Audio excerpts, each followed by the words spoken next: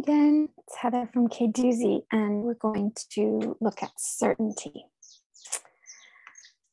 We are going to review some of the white supremacy culture patterns around this and the being an ally principles around humility and curiosity, and then look at what might be different if we were raised in a different culture. What might, how might we see certainty in a different way?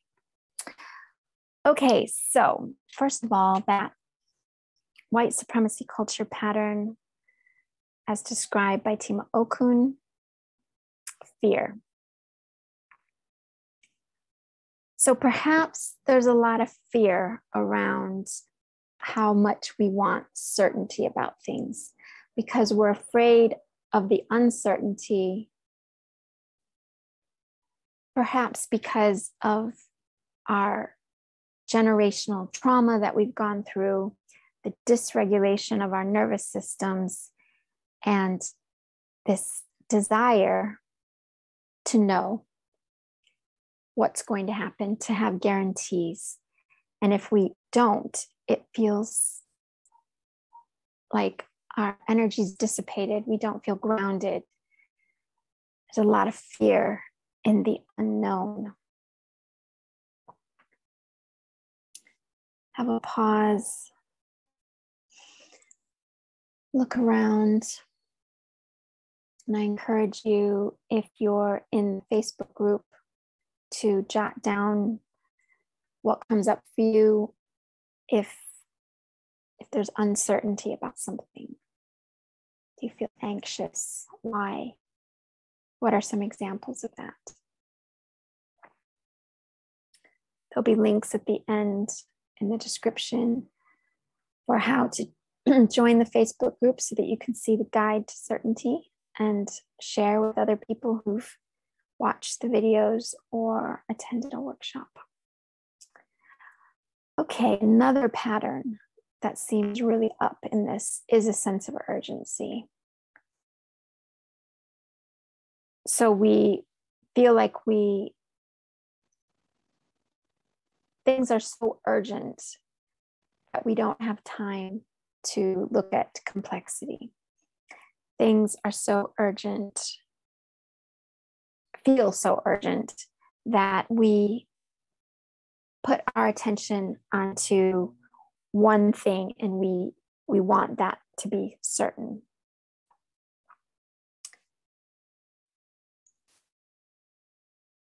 means there's no time for inclusivity no time to hear lots of different perspectives. So we might latch on to one perspective. For example, if we're um, driven by a collapse narrative, we might only want to look at the one perspective that says collapse is inevitable. Or we want to look at uh, a narrative that says the opposite, that definitely humans are going to figure this out and we're going to be okay.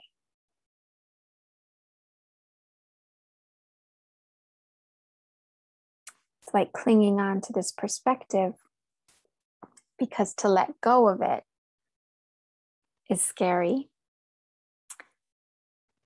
And also, if there's uncertainty, it means that we might have to take more responsibility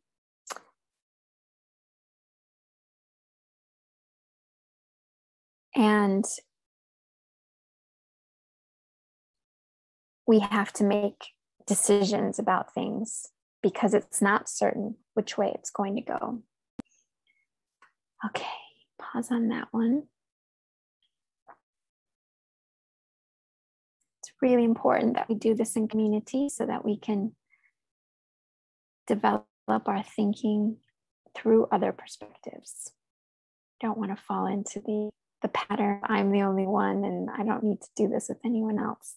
This isn't an isolated piece of work. This is community work. Okay, denial and defensiveness. If we are certain about something, then we're going to deny anyone else's perspective, reality.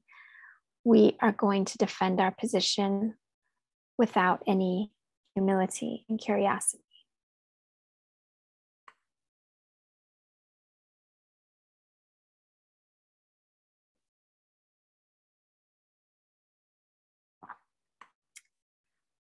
So, yes, as I alluded to, the I'm the only one, the individualism is like my perspective or the perspective of this other person who is saying that I'm the only one that knows the truth about collapse or what's going to happen is a pattern that feeds into certainty.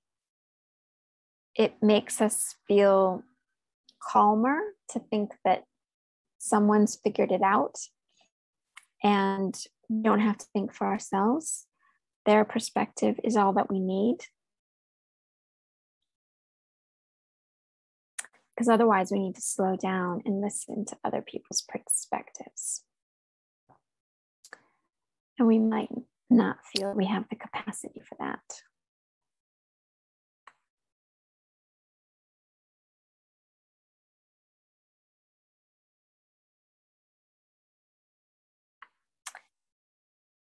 Okay, another pattern is the one on there's only one right way to do things or the objectivity. Now, this is saying that certainty around this is what's going to happen. Um, we know it, it has to happen this way.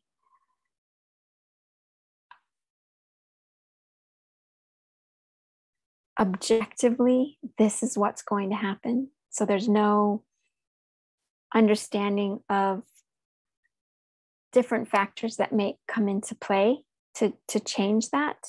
So the complexity of, of how change happens, if we ignore all of that and we're just certain that this thing's going to happen, then that leaves out all the alternatives, all the possibilities, all the different ways that we can use human creativity and flexible intelligence to respond to all these crises. So we can't be certain about what's going to be what's going to happen. We need to keep thinking. And there isn't someone who's particularly qualified to say something with certainty. That just doesn't exist. And we get to be really uncomfortable with not knowing, not knowing what's going to work, not knowing what we need to do, and being able to be open and curious and humble.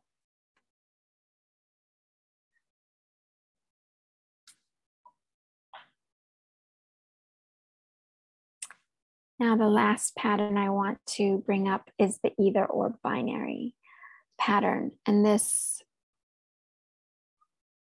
obviously pertains to certainty because if you say this one thing's going to happen, then you're saying nothing else can happen. It's this or nothing. It's binary. It's not actually part of this is going to happen.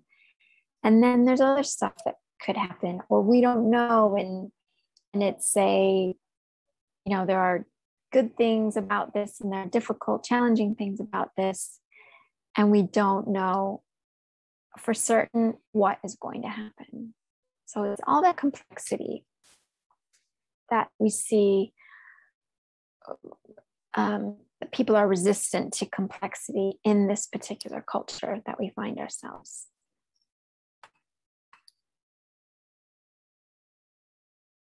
Really important to take some time and think about how you see this playing out in your in yourself in your home in your relationships in your work in movements that you're in. What what kind of language is being used that implies certainty about things? Is it the certainty of a strategy or a tactic certainty about something around your health, what would make it, what makes it easier to have certainty about something? What would you have to do if it was uncertain?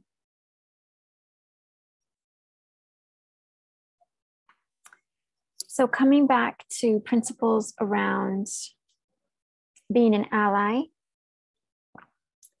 rather than feeling that we need certainty, we can be curious about the possibilities, have humility that it's impossible to be certain about something, that we can't possibly know what's certain, and that some person that we're looking to for answers, they can't possibly have all the answers. It's just one perspective, and we need all perspectives. And just like from the language liberation workshop, we need there to be a diversity of perspectives so that we can get more of a picture about what's going on so that we know how to respond appropriately.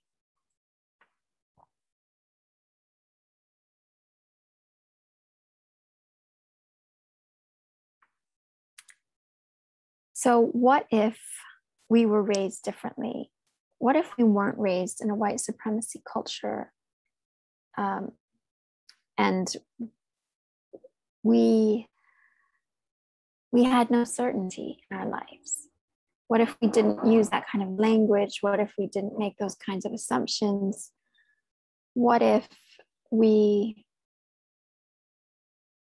pondered things and stayed open to anything happening to, to anything being true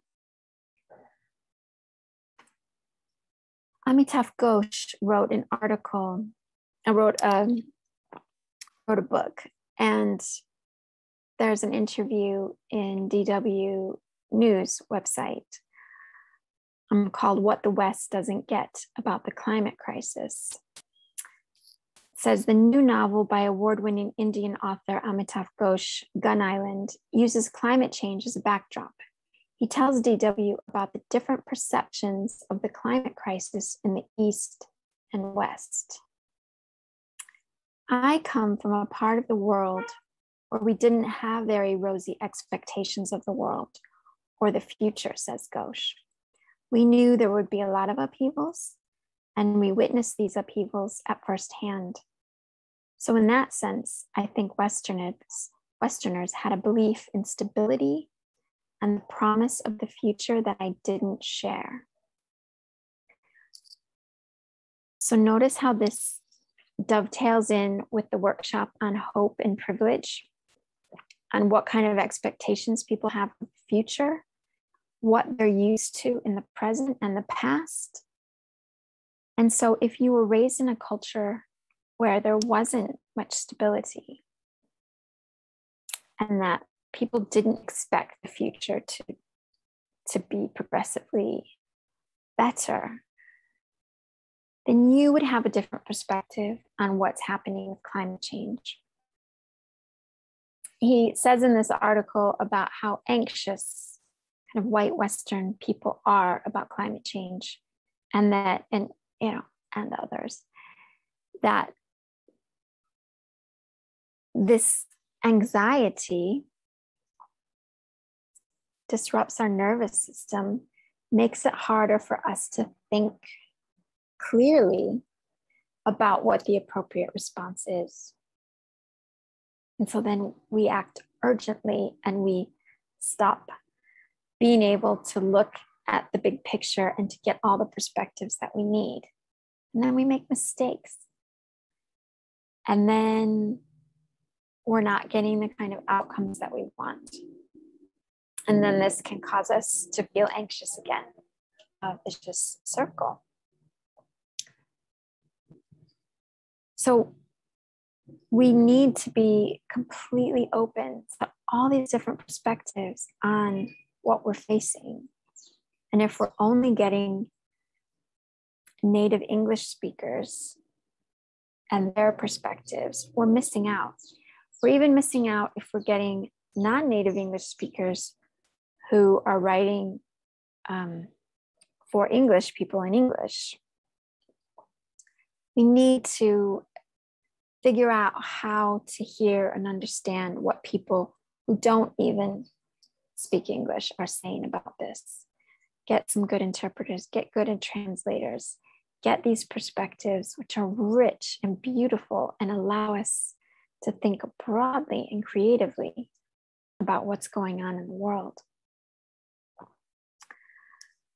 Okay, so pause on that and do some writing, reflecting, join a workshop.